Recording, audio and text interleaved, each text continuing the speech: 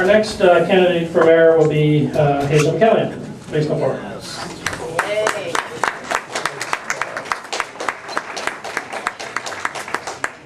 Thank you, John, and thank you to the group for organizing this Meet Candidates. I always enjoy Meet Candidates and debates. Look forward to them, in fact. Well, I'm going to continue to provide value for tax dollar as we've done in the past. As we've done in the past. It is so important, but the challenges are great in regard to the cost of operating a city. But as we deal with the budget, as we've done every year, we will go over it item by item to make sure that there's no duplication, that all efficiencies have been brought in. One of the problems that we face is a decent transportation, public transit system. We are putting all the gas money we receive from the federal government and provincial government into transit. We turn the sod for the uh, bus rapid transit just a few weeks ago. That's a $92 million project, the largest contract we've issued as a city, and that's only the first phase of it. We're working hard on a light rail transit on Hurontario Street.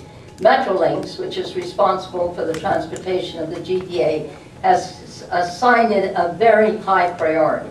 We hope to have transit right from Ward 1 right up to the heart of Brampton.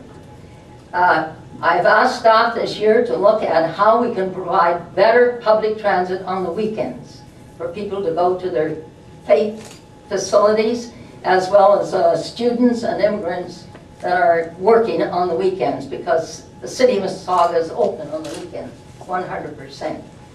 The strategic plan that uh, Councillor Corbasson mentioned, we consulted 100,000 people. I call it the people's strategic plan, because it truly is.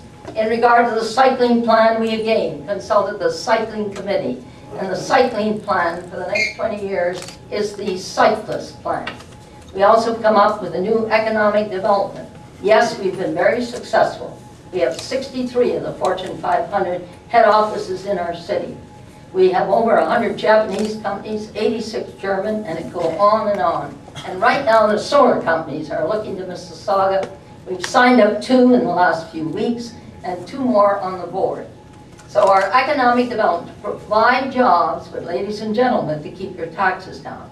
It's the industrial, office, commercial, and retail commercial development that has done so much to keep your taxes down in Mississauga because of the fact that residential taxes do not, in many instances, cover the cost of the services we provide. In regard to the task force, we now have a roadmap for the arts and culture and heritage. We're looking for a, a facility for our artifacts, which we don't have, and we hope to attain that in the next four years.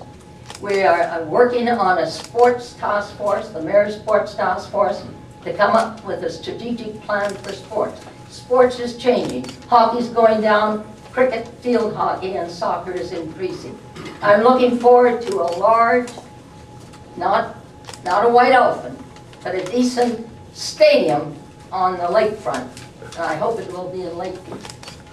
To give for soccer, for, uh, for uh, cricket, for field hockey, and for any other use, football, etc. In regard to the um, convention center, I'm going to work hard, as I have in the past, to bring a convention center to Mississauga in the city core.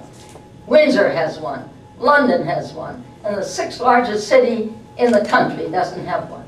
So we're going to work to get a convention center to bring tourists to our city and to provide jobs. I'm going to continue my job challenge, which I started last year to ask the corporations to hire students and immigrants that are out of work. Thousands of students last year were out of work. So ladies and gentlemen, on October the 25th, I ask you to give me the privilege to serve Mississauga for another four years.